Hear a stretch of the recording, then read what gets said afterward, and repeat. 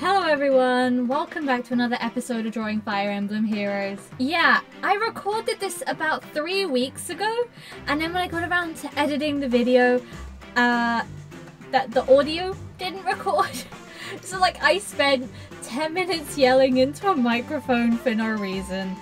Uh, so that that's on me for being an idiot. Uh, I'm sorry. You can moan at me in the comments all you like. Um, uh, that's that's deserved. Uh, yeah, I'm sorry.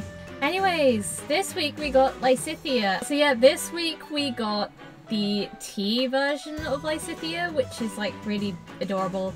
They did it for like Three Houses and Genealogy for some reason. Um, not sure if we're ever going to see this banner again.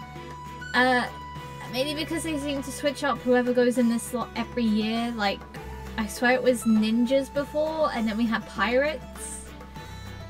I, I kind of miss when we had like a consistent banner because it was like, oh yay, we could get more of those units. No, uh, the only consistent banners that seem to be appearing now are like the kid banners, the Valentine's Day ones, uh, the summer ones, the Halloween ones, and the winter ones. And the New Year's ones as well. But yeah, everything else seems to switch around and I don't know why. Can they make up their mind on one? Oh, please. Like, uh, we, we, we don't need all these weird banners. We just want one. Yeah, I like the dancer banners that we used to get. You know, like, uh, the soiree banners where you'd have, like, a dancer Eldigan. We got Dancing Bakut that one time. Don't I know it? I spent 1,500 orbs and that guy still didn't drop. Yet the third or fourth year that they reran that banner, he finally dropped for me after spending like another 500 orbs.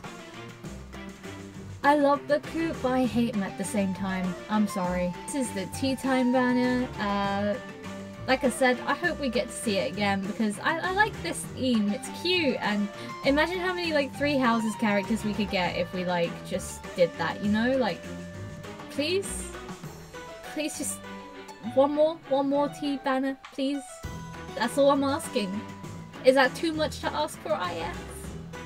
Come on, come on guys. Also, as you might notice from the accent, I am an avid tea person. Uh, I actually have a nice lovely cup of tea right here next to me. And uh, I'm enjoying it. Uh, I've missed it for the last two weeks because I've been away.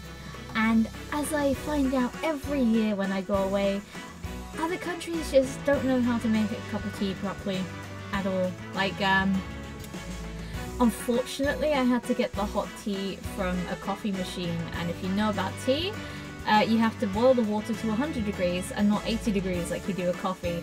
And coffee machines only do it to 80 we have it to 100 and we have kettles that do just so I had like lukewarm cups of tea that tasted foul and uh, yeah I, I miss my tea a lot first thing I did when I got home cup of tea yeah that's it we got Lysithea and so, so my first group in Fire Emblem Three Houses was Crimson Flower because like as soon as I found out Edelgard has the same birthday as me, I was like, it's over. We're going with the Black Eagles forever.